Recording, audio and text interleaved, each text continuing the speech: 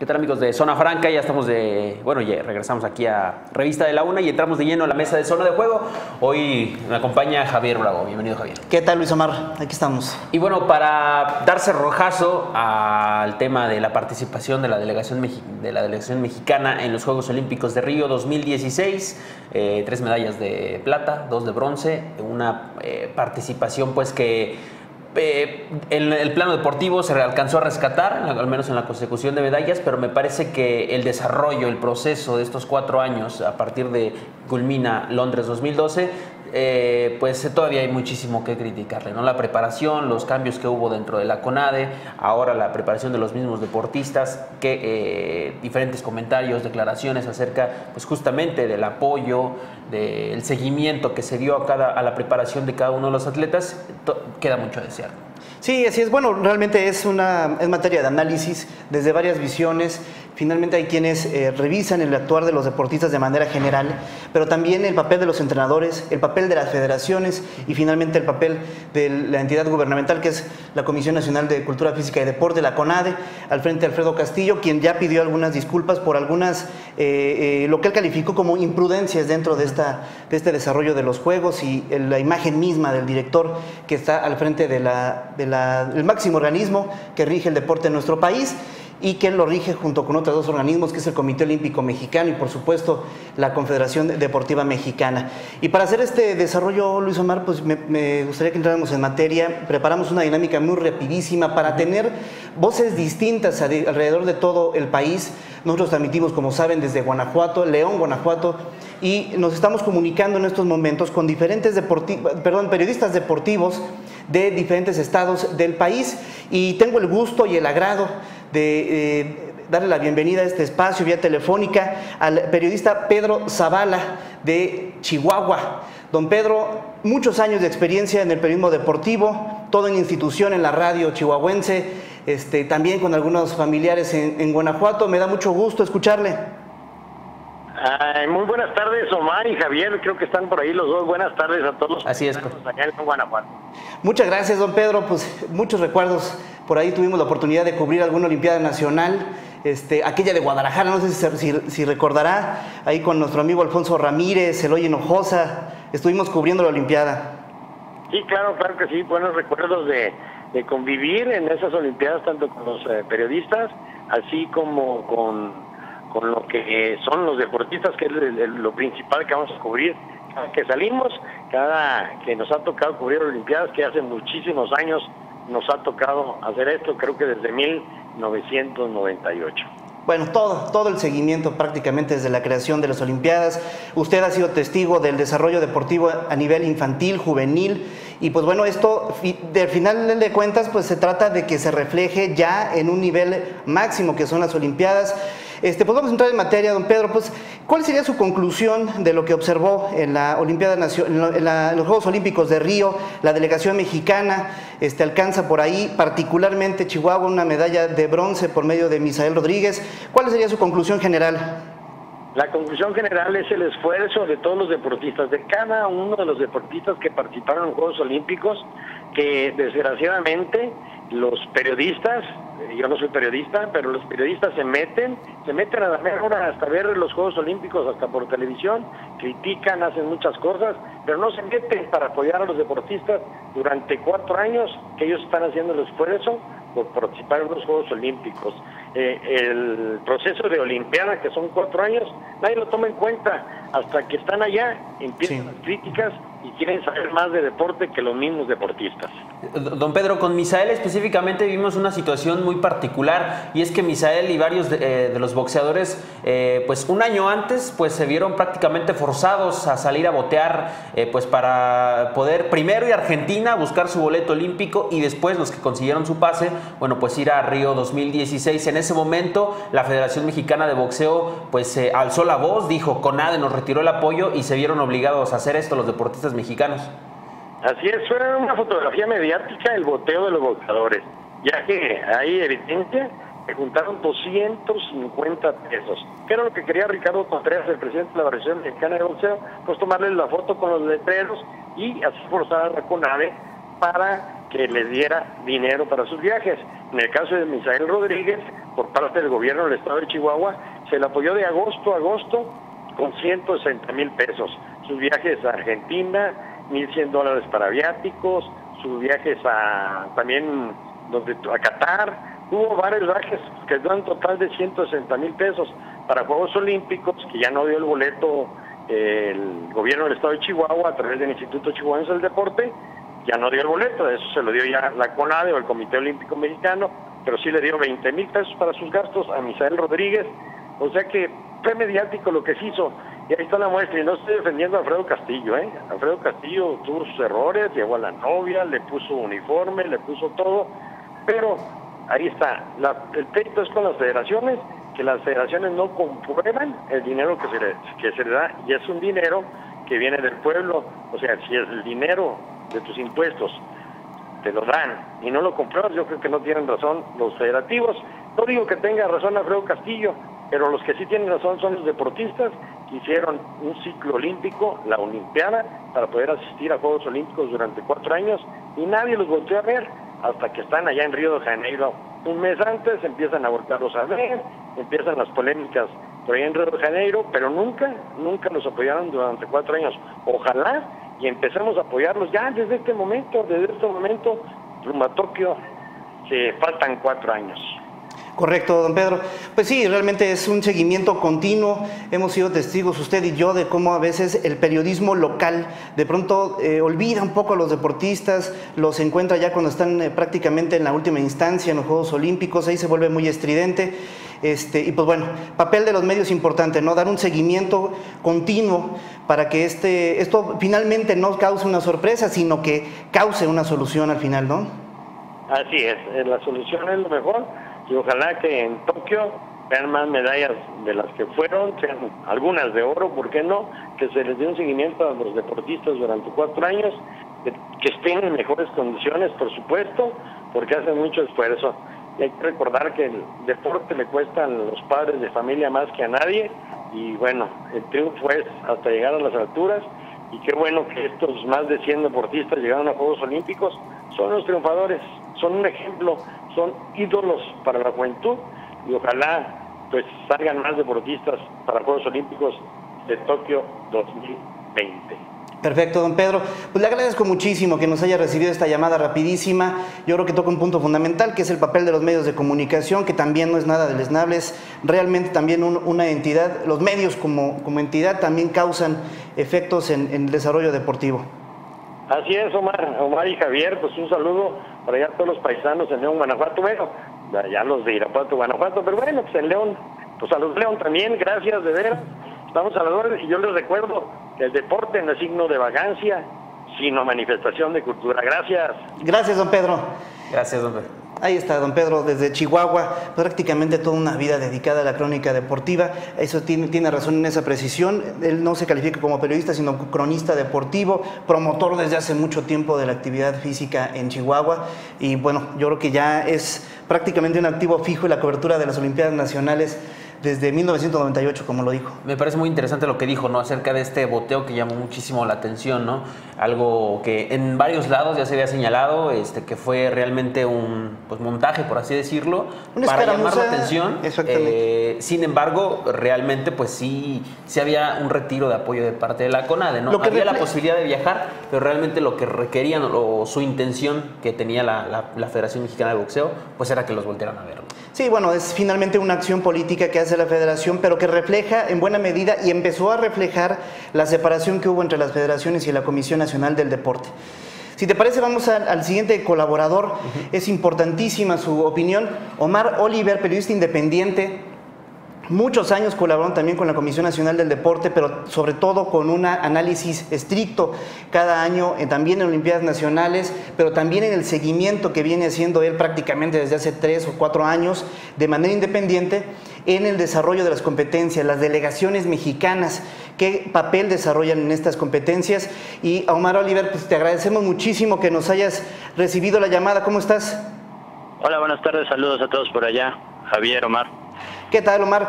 Pues eh, yo creo que te invitaría a hacer una síntesis prácticamente de la conclusión que tú tomas de un papel eh, de, la delegación mexicana en los Juegos Olímpicos de Río, pues que dejó muchos sinsabores, muchos sentimientos encontrados, sobre todo en lo que tiene que ver con el papel de la Comisión Nacional del Deporte, pero también el de los deportistas. Bueno, yo creo que podríamos calificarla de regular. Eh, evidentemente yo soy convencido que no una evaluación seria y objetiva no solo se, se aterriza en las medallas, creo que debe, debe de tomarse en cuenta mucho más factores, también otros resultados, no necesariamente las medallas, sino caemos en, en ser resultadistas y eso nunca nunca de pronto es este, la mejor salida para hacer un análisis objetivo. Sin embargo, de acuerdo a lo que se tenía, al talento que se tiene, a, a, los proyectos que se habían sentado, a las bases que se habían sentado, pues sí se queda un poco corto de lo que, del potencial que esta delegación tendría, ¿no? Omar, eh, también una parte importante a lo mejor no se ha tocado tanto es la actitud de los deportistas eh, durante la competencia. Eh, ya después de algunos resultados de, vemos declaraciones como por ejemplo la de Aida Román en donde señala pues, que no le debe nada a nadie, este, las mismas de, de Paola Espinosa, ¿no? En donde, bueno, pues igual señala una cuestión meramente personal. ¿Cómo viste a los, a los deportistas en general? Pues mira, es es como todo, digo, hay casos que a lo mejor unas declaraciones son más afortunadas que otras, también hay que entender que pues están en el calor del, de la competencia, Aida y Paola pues vienen también con una carga tal vez innecesaria que se les pone de, de pues ya ser medallistas y como una obligación tener que repetir, ¿no? Entonces, bueno, también eso, digo, sin justificarlas, evidentemente, este, pues también, también influye. También yo creo que algo que pasó en esta, en esta edición de los Juegos es que el ambiente llegó sumamente este caldeado por todos las, por todos lados, en particular por, por la dirigencia de CONADE. Eh, es una lástima que, que el último año pues haya sido un año de pleitos prácticamente, ¿no? Entonces eso no genera el mejor ambiente, sinceramente. Ah, eh, es muy diferente el llegar con, un, con una situación más, más profesional, más seria, que llegar con un, con un ímpetu beligerante, ¿no? Agresivo, todo. Entonces, pues eso quieren que no se transmite a los deportistas y al final también nos hace tomar como ese tipo de actitudes que si bien pues no son justificables, pero sí se entienden en determinado momento, ¿no? Sí, a tu consideración, Omar, eh, ¿qué tanto pegó precisamente esto? ¿Qué tanto eh, pegó la separación de las federaciones, de la CONADE? De alguna manera se trompicó un poco más el flujo de recursos. Evidentemente, estos tenían que fluir porque era una obligación, pero de alguna manera sí hubo esta fricción por los recursos públicos y la separación entre federación y CONADE. ¿Qué tanto crees que haya eh, pegado en el desempeño de los deportistas? Sí, em, yo creo que es mucho, sobre todo porque estamos tomando en cuenta que este es el año más importante del ciclo, o sea, justo cuando entra el señor Castillo llega a la parte más importante, no sé si si hubo un error de cálculo o algo, darle la responsabilidad en ese momento es cuando está poco más de un año de los Juegos, toma la dirección de la CONADE. Entonces, ese es el año más importante en el que todos los detalles de todos los deportistas que son los los contendientes son los que deben de tener las, el, ciclo perfectamente bien definido, las competencias a las que tienen que ir, las marcas que tienen que lograr. O sea, ese último año de planeación tiene que ser muy estricto, muy riguroso y muy profesional desde el punto de vista metodológico. Entonces, si llega la nueva administración, llega peleándose con todo el mundo y lo primero que quiere es agarrar y pelearse, pues evidentemente que, que eso que eso corta el, el, proyecto de, de muchos deportistas que vienen ya de tres años este, trabajando, preparándose para lo que es su competencia esperada de, unos Juegos Olímpicos. Correcto. Así es. Bueno, pues eh, muchísimas gracias, Omar. Eh, hasta la Ciudad de México, gracias por atender esta llamada. Y bueno, pues ahí queda, ¿no? Insistimos, eh, queda de ver demasiado la, participación de, los deportistas mexicanos. y no, nada más en la cuestión de la consecución de las medallas, ¿no? Sino en general, ¿no? el proceso en sí de la participación de esta delegación mexicana en Río. Al contrario, muchas gracias a ustedes. Gracias, Omar. Hasta luego. Hasta Omar Oliver, sí, importante su visión también. Así es, eh, y bueno, pues sin duda alguna, bueno, pues eh, continuando con esta parte, eh, pues hemos visto ¿no? esta serie de, críticas, la cuestión de Alfredo Castillo, que él mismo incluso ya este, se reunió con Enrique Peña Nieto durante el recibimiento que se tuvo a los deportistas, eh, había puesto de manera previa en una entrevista pues en la mesa su renuncia y bueno, en el recibimiento que tuvo eh, Enrique Peña Nieto a los deportistas, bueno, le dio el espaldarazo y bueno, a final de cuentas este, le ratifica, ¿no? Le, da la ratifica su confianza y, lo mantiene como director de, se va a mantener como director de CONADE. Bien, pues vamos a esperar qué, qué es lo que sucede con él. Eh, pues tenemos también en la línea, yo creo que es una visión importantísima, es la del atletismo. Y uno, uno de estos eh, papeles importantes, vamos a tratar de comunicarnos con Carla Sánchez, ella es periodista deportiva en el Estado de México. Ella conoce muy bien, conoce muy de cerca el desarrollo de la marcha. Tiene un seguimiento muy cercano, conoce muy bien a Lupita González, este, dio seguimiento. Trataremos de comunicarnos con ella más adelante. Vamos a este, tratar de enlazar a Arturo Llanes, lo tenemos ahí en la línea telefónica. Ya tenemos a Carla Sánchez. Pues vamos a ir, vamos a ir a una pausa este, comercial y bueno, pues eh, mientras eh, esperamos a que entrar en contacto con, con ellos. Este, bueno, ya tenemos a Carla. Perfecto, muy bien. Carla, ¿cómo estás? Bueno, Carla. Sí, hola. ¿Qué tal? Carla Sánchez, periodista del Estado de México, seguimiento puntual a la marcha, al atletismo mexiquense desde hace mucho tiempo. Carla, ¿cómo estás? Hola, mucho gusto de saludarlos, Omar Javier, aquí desde el Estado de México. Un abrazo y saludo a todos ustedes. Gracias, Carla. Pues Carla, pues danos tu conclusión general de lo que sucedió en Río, cómo observaste el desempeño de los deportistas, cómo observaste el desempeño de las federaciones y de CONADE. Bueno, pues primero, antes que nada, eh, quiero, quiero agradecerles la invitación de poder estar con ustedes eh, y de poder, poder compartir mi punto de vista con, con los otros colegas que, que supongo que también estarán muy, muy interesados en esto. Y primero, pues dar una, un balance eh, resulta un poco complicado. Son muchos los resultados que se tuvieron, muchos los contrastes los que se tuvieron. Y más aún, habría que analizarlo uno por uno. Cada, cada atleta, cada caso, cada competencia, su microciclo, su macrociclo con los entrenadores. Y pues yo creo que nos llevaríamos no cinco minutos. Claro que sí. cinco días para cada uno y, nos quedaríamos cortos. Eh, por otro lado, pues eh, el desempeño de, los federativos, pues ahí está. Y es que, bueno, pues eh, hay que tomar en cuenta que, a ocho días de, que concluyeran los Juegos Olímpicos y tras los resultados estos que se dieron los últimos dos días, tres días, eh, pues es fácil ver el, vaso medio lleno y no y no medio vacío como lo vimos en la primera semana, pues cuando desafortunadamente las medallas no se daban.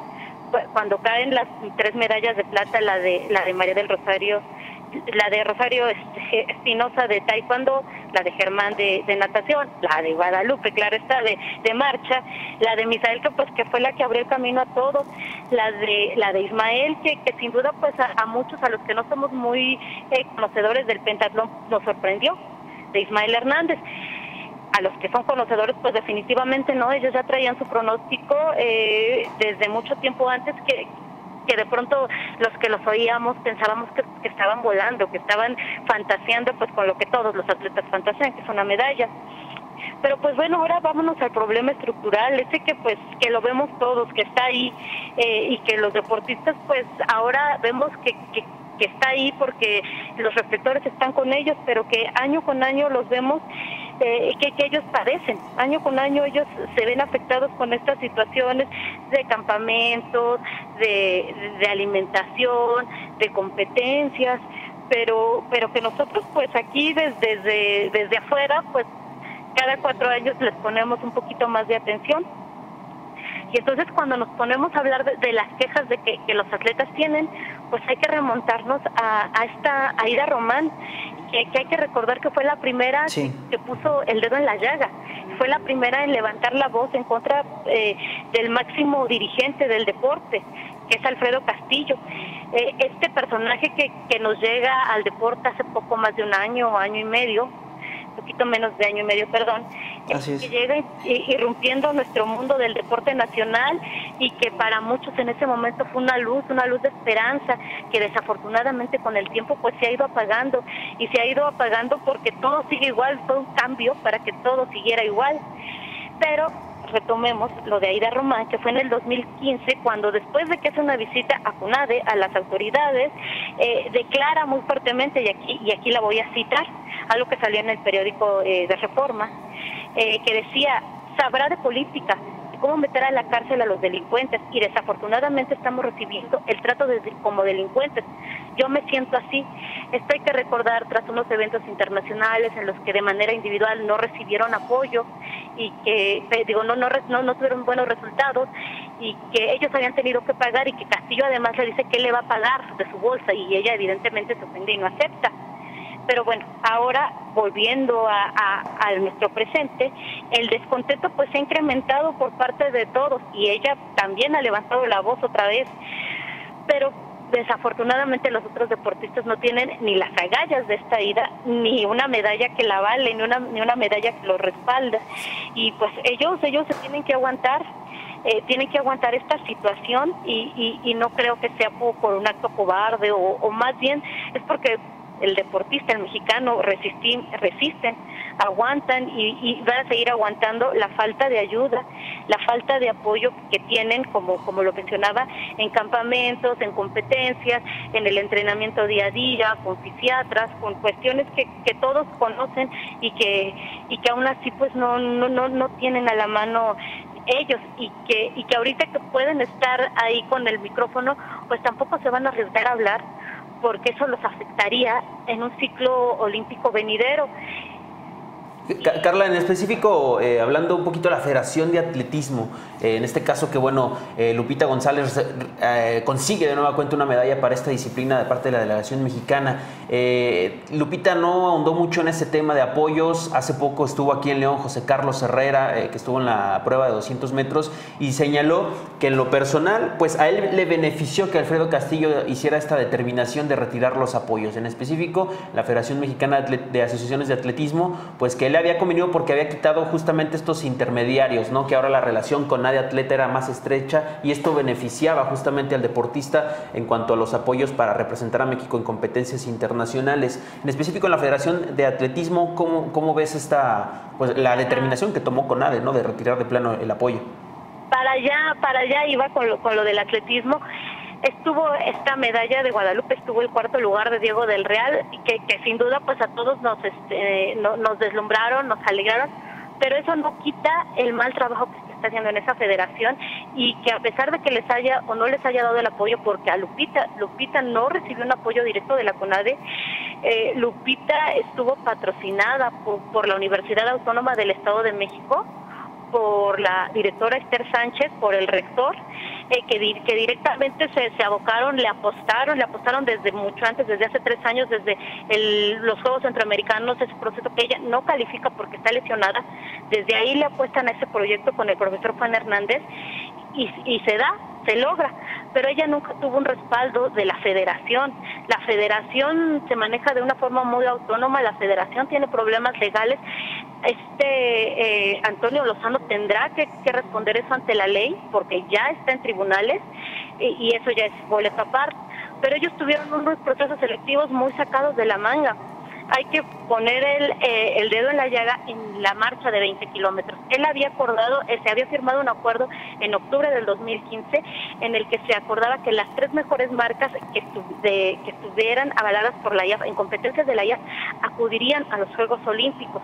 Estos en un momento dado al cierre eran un chico que se llamaba Omar Pineda, Omar Pineda y sí. de Ovega que tenían una 19 minutos con 20 segundos y este Ever, que también tenía una 19 y un poquito más, hace un proceso selectivo en el que recibe dinero por parte de, de, de, Nuevo León, ahí se hace el selectivo y ahí eh, se supone que tenían que mostrar marca deportiva. Eh, ellos ven que por el proceso, por el ciclo, que no estaban en su máximo punto, que ellos esperaban llegar a los Juegos Olímpicos, no dan la marca, no dan, no, no dan el, el ancho, tienen una mala competencia y tras esa mala competencia los quita del proceso, los quita de la lista de la delegación que irá a Juegos Olímpicos y pone a Julio César de Chihuahua y a, y a Pedro Gómez de Sonora. Estos dos chicos tienen un proceso súper bueno, hacen, han hecho muchas competencias, pero también tuvieron una sobrecarga de trabajo, queriendo dar la marca y luego buscando ese boleto y de manera legal lo tienen, de manera legal conforme al segundo proceso de clasificación ¿Y qué pasa? Llegan a la competencia super tronados y tras eso ocupa Julio César el lugar 52 y Pedro Daniel el lugar 23 con una marca muy alejada de la que ellos tienen. Carla, ¿qué, qué falta hace un metodólogo, no? Y ahí tampoco Castillo, sí. que, que metiera las manos, jamás defendió a los atletas. No estoy diciendo que, que Tadeo o que, o que Omar hubieran sido medallistas, ni mucho menos, eso pues nunca lo sabremos. Pero tampoco vi que alguien los defendiera ni con ninguna autoridad, ni Padilla, ni este, ni, ni Castillo. Simplemente pues ahí cada deportista se tiene que defender con sus propias eh, con sus propias armas. Claro. Carla, se nos, se nos acaba el tiempo, pero creo que nos dejas este, eh, pues elementos para analizar la forma en la que trabaja particularmente la Federación Mexicana de Atletismo y lo que sucedió finalmente con los marchistas, una disciplina que históricamente se supondría nos daría bastantes medallas o ha dado medallas en diferentes etapas. En este momento fue Lupita González, pero lo que sucedió detrás de esa medalla de plata en la marcha mexicana, pues queda ahí para el análisis y qué bueno que nos lo compartes aquí en la revista de la UNA, en la mesa de zona de juego. Muchas gracias y bueno, también ahí tiene mucho que ver Juan Hernández, entrenador, que fue el entrenador de Chela Mendoza, que ella es otra gran marchista que dio muchas glorias a México y que anteriormente tenía la mejor marca. Eh, ahí hay historia. Así es, mérito completamente para ellos. Muchísimas gracias, Carla. Un saludo. Muchas gracias, te agradezco mucho la oportunidad y pues aquí estamos. Hasta luego, Carla Sánchez desde Toluca, Estado de México, también con un seguimiento muy puntual sobre el atletismo y la marcha mexicana. Ahí tocaba ese tema, me parece importante, ¿no? Lo de José Carlos Herrera, que bueno, pues un atleta eh, me parece bien preparado, no nada más en lo deportivo, también en la cuestión, eh, como él lo comentaba cuando estuvo aquí en León, este, ya tiene su carrera, está por terminar una maestría y bueno, pues eh, muy completo en su preparación y señalaba, pues al menos en lo personal me, me benefició y bueno, pues a final de cuentas, lejos de buscar eh, críticas o quejarse, pues eh, me parece que José Carlos Herrera hizo una buena participación. La prueba a lo mejor no le permitió llegar más, más lejos, pero bueno, pues ahí está esa ventana de oportunidad. Perfecto. Pues bien, este, vamos a Sonora, vamos hasta Sonora porque eh, nos Recibe la llamada Arturo Llanes, él es editor del eh, periódico Expreso de Hermosillo, Sonora, también conoce perfectamente el proceso de Olimpiada Nacional, el seguimiento a jóvenes, el seguimiento a niños en Sonora, y es un estado evidentemente que se vuelve protagonista en cada competencia, es un estado que regularmente está en los primeros lugares del medallero de la Olimpiada Nacional. Pues ya lo tenemos en la línea telefónica. Arturo, ¿cómo estás? Eh, muy buenas tardes, muy bien, aquí aguantando el calorcito aquí de Hermosillo. Bastante. Una 39, ¿no? Dos horas menos que allá, pero aquí estamos al pie del cañón. Muchas gracias, Arturo. Pues Arturo Llanes, pues tú eres un conocedor sobre el box, sobre el béisbol, sobre el básquetbol, conoces perfectamente este tipo de deportes, sin embargo también eres un interesado del deporte nacional. ¿Cuál qué conclusión te deja a nivel general el papel de México en los últimos Juegos Olímpicos de Río?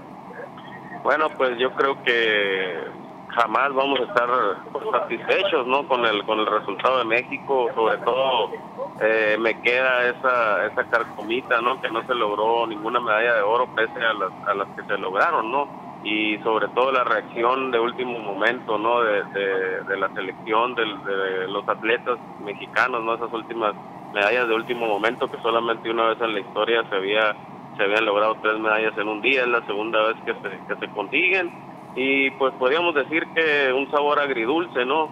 Un principio pues muy triste que exhibió pues muchas faltas eh, que tiene el, deporte y que eh, México eh, pues yo podría decir que no, no solamente es cuestión de los directivos, también eh, de los atletas, de las asociaciones, de todo eso, pero al final eh, un, un, sabor eh, pues satisfactorio, ¿no? Con esas tres medallas que se lograron en el último momento, como te digo, queda el huequito que no fue la medalla de oro, pero podríamos decir que un, una jornada agridulce para el deporte mexicano, aunque pues esas tres medallas de último momento a muchos ya nos dejó tranquilos, ¿no? A muchas personas, acuérdate cómo estuvo, ¿no? Cómo se golpeó a, todo el deporte mexicano, pero después de ese momento pues ya se callaron muchas voces, ¿no?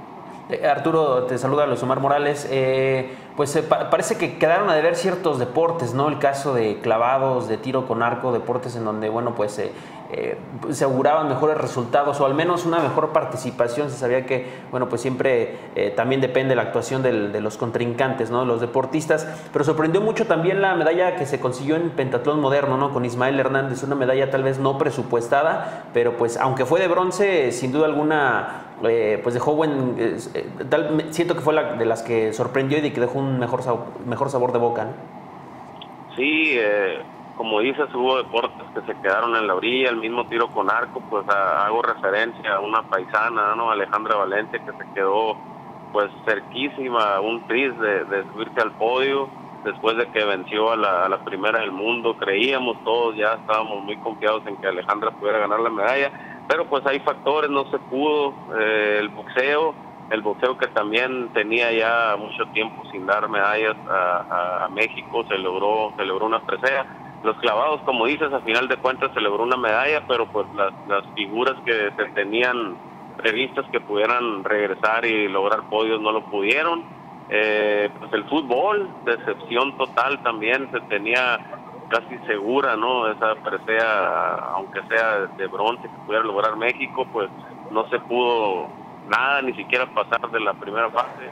Otra decepción muy grande de deporte que también para mí fue la, peor decepción de, México, aunque pues hay que tomar en cuenta, ¿no? Que, los jugadores son profesionales y todo eso, pero sí, como dices, hay deportes que quedaron a deber, sobre todo el fútbol, los clavados, el tiro con arco, que en años anteriores en Londres se habían logrado dos medallas, ahora no se logró ninguna, y así podemos hacer una suma que nos podríamos quedar todo el día, pudiéramos decir, ¿no?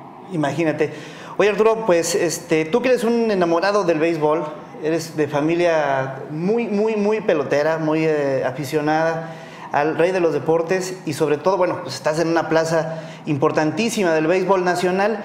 Eh, pues en Tokio veremos el béisbol ya integrado al programa olímpico como disciplina, como competencia. Ahí, ¿qué debemos esperar, de, de, acuerdo a tu experiencia, qué debemos de esperar de un representante mexicano que primero tiene que ganarse el boleto? Eso es importantísimo. Y yo creo que desde ahí empieza la dificultad. Sí, eh, en este momento, en este momento te pudiera decir que el panorama del béisbol mexicano a, nivel internacional pues luce luce muy bueno, no luce fenomenal con, con las figuras que existen ahorita. Eh, podemos citar al, hace hace rato estaba que platicamos pues al zurdo Julio Urias y a, Adrián González, no dos peloteros que juegan con los Dodgers de Los Ángeles consagrados y así te pudiera mencionar muchos el panorama en estos momentos luce muy bien para México, ¿no? Pero estamos hablando de cuatro años más, en el 2020. Eh, a, lo mejor algunos peloteros ya cumplieron su ciclo para ese tiempo y habría que, ver eh, cómo vienen las nuevas generaciones, ¿no? Pero hay que recordar que aunque el béisbol, como lo dices tú, es un deporte que pues eh, juega más bien acá en el norte, es el, deporte que ha eh, exportado, podemos decir, importado más jugadores a, las grandes ligas, que es el máximo circuito, ¿no? Sí. Eh, ni siquiera se acerca el fútbol, entonces eh, es, un, es un movimiento que se está dando año con año, hay jugadores, hay talento, están nuestras dos ligas, la liga invernal, la liga de verano, eh, hay jugadores, hay con qué, y estamos al tú por tú eh, en, el, en el béisbol eh, sobre las grandes potencias, ¿no? Como lo ha sido Japón, Estados Unidos, Dominicana, Venezuela, ya lo ha demostrado México, pues en las últimas series del Caribe, ¿no?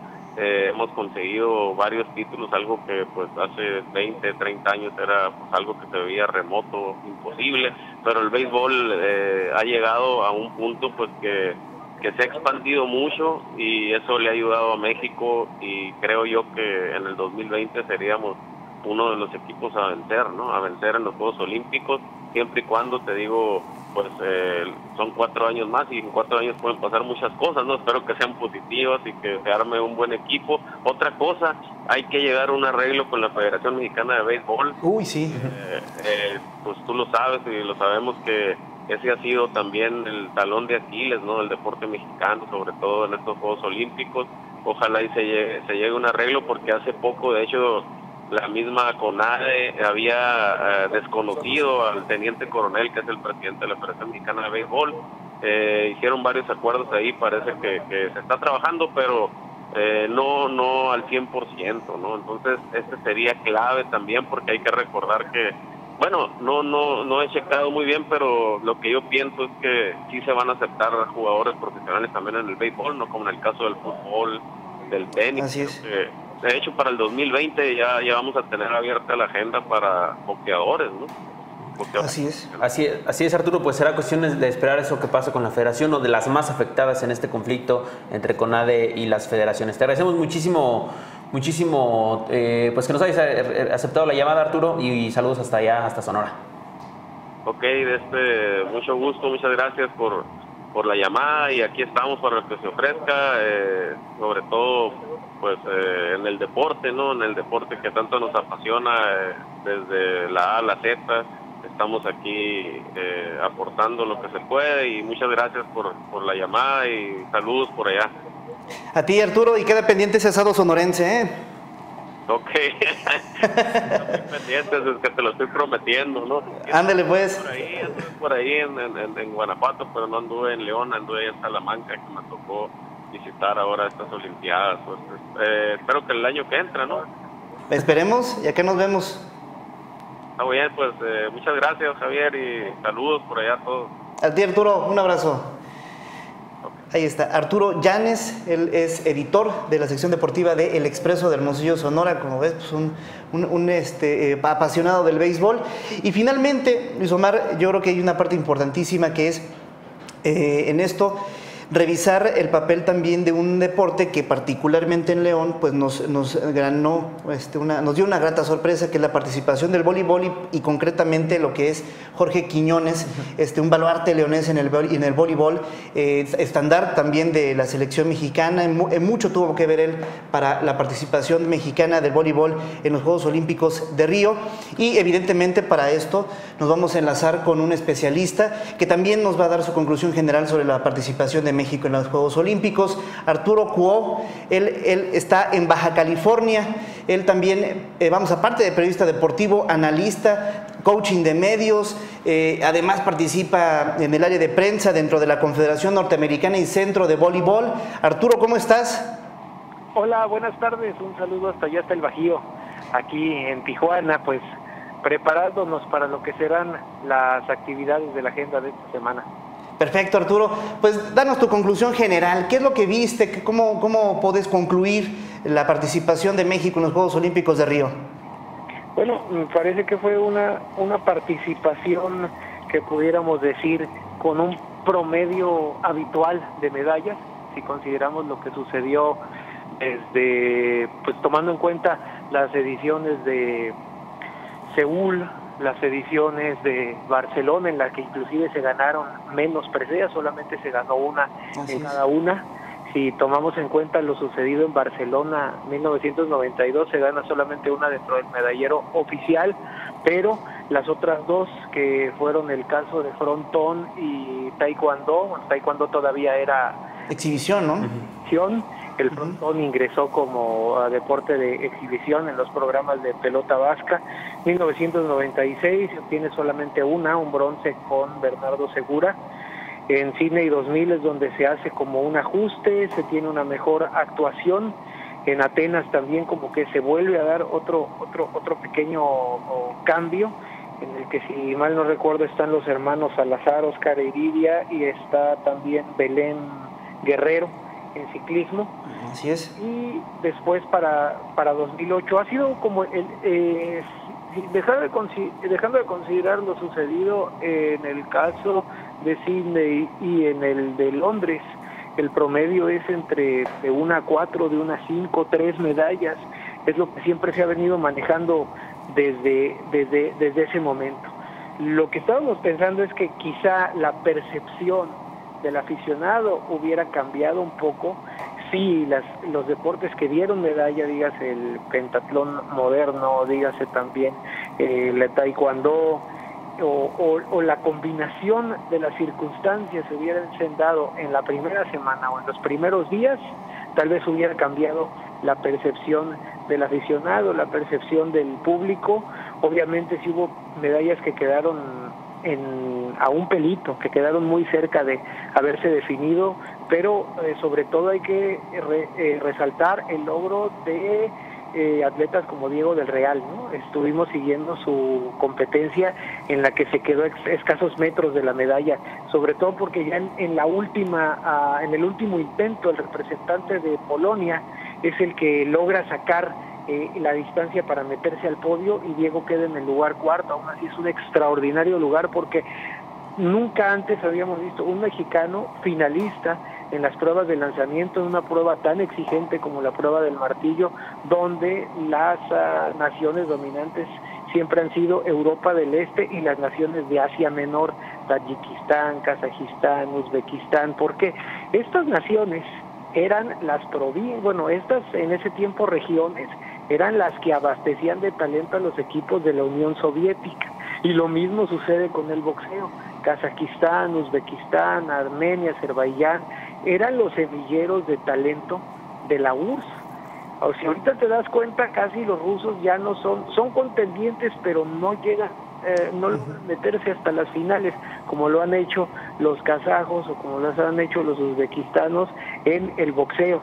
Ahorita el más alto nivel se encuentra en esas repúblicas, en, en las ex repúblicas soviéticas de Asia Menor, en lo que es Europa del Este, en lo que concierne al boxeo y también en las pruebas de lanzamiento como la de martillo. En los últimos, en el últimos seis años, podemos decir de que exponentes latinoamericanos en lanzamiento, de, en pruebas de lanzamiento en atletismo, que hayan alcanzado un nivel tan alto en unos Juegos Olímpicos, solamente podemos mencionar dos. Uno, Diego del ahora con Diego del Real en eh, México y eh, haciendo una revisión años atrás a Ángela Ducó de Chile, esta muchacha que llegó a ubicarse en el top 8 y siendo que Ángela Ducó estuvo haciendo campamentos en Cuba al parejo de varios muchachos del programa de Olimpiada Nacional en México, entrenando en La Habana con sus respectivos eh, coaches y en, en la zona de Habana del Este. De ese campamento podemos decir que Ducó fue una de las, eh, de, las exponentes más importantes a nivel latinoamericano. Lo curioso es que hay equipos o hay eh, delegaciones que se fueron en blanco. Estábamos revisando hace unos días el caso de Bolivia, el caso de Chile, que tampoco uh, destaque después de haber pese a haber ganado la Copa América en los Juegos Olímpicos y no tuvo no tuvo medallas y tenían grandes favoritos en el voleibol de playa, como los primos Grimaldo. Estaba el caso de, bueno, ya te mencioné el de Bolivia, el de Uruguay, el de Paraguay, fueron como varias naciones del Cono Sur que no lograron meterse a, la contienda por el podio, tal y como sucedió con Argentina, como sucedió con Colombia, con Venezuela, que nada más cosechó unas cuantas medallas. Eh, y en el caso de, Colombia, Colombia hay que aplaudirle porque ha sido el país que ha tenido el crecimiento más amplio a nivel latinoamericano en los últimos 10 años desde que lanzaron e hicieron público su programa de alto rendimiento en el marco de los Juegos Centroamericanos y del Caribe de Cartagena de Indias 2006.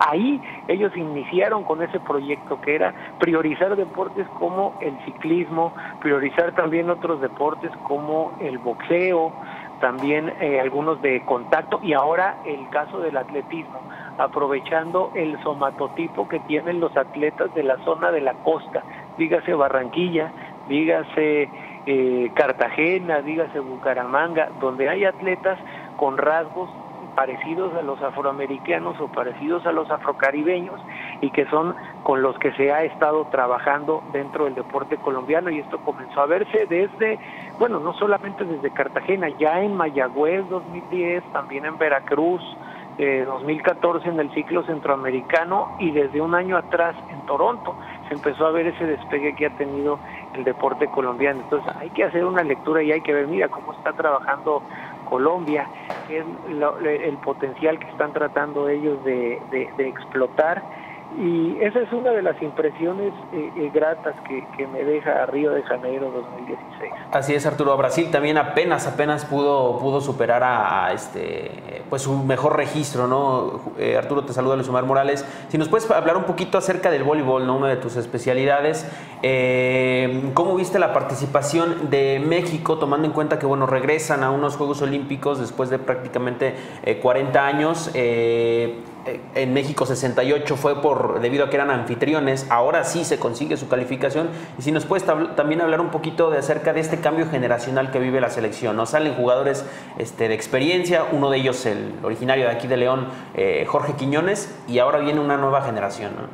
Sí, Jorge Quiñones y también el caso de Carlos Guerra, que reincorporarse para formar parte de este, de este proceso, que pues el proceso comienza, ¿no? Desde lo que muchos llamamos lo que fue el milagro de Edmonton en Canadá, cuando le ganan a Puerto Rico, porque Puerto Rico ya estaba, tenía el partido en la bolsa, solo necesitaba ganar en tres sets y México se mete a la pelea y se define este encuentro en cinco sets y queda eh, en México con el con el con el boleto bueno con medio boleto porque después juegan el repechaje en el gimnasio Juan de la Barrera, donde nada más pues igual ganando una combinación de sets después de haber eh, enfrentado a Túnez, logra meterse a los Juegos a los Juegos Olímpicos. Em, lo aplausible, lo que podemos aplaudir de México en su primer partido, porque se preveía desde el inicio que iba a ser una participación sumamente difícil en los Juegos Olímpicos para México, considerando que iban a estar con, enfrentándose a equipos como Francia, Estados Unidos, Brasil, etcétera Canadá. En el caso del juego contra, el primer juego contra Brasil, se le gana un set a Brasil en Maracanaciño, algo que es digno de resaltar, aunque qué fue lo que le faltó al equipo mexicano, yo creo que más un poquito la preparación física, el trabajo físico, eso es, es, es fundamental, ¿no?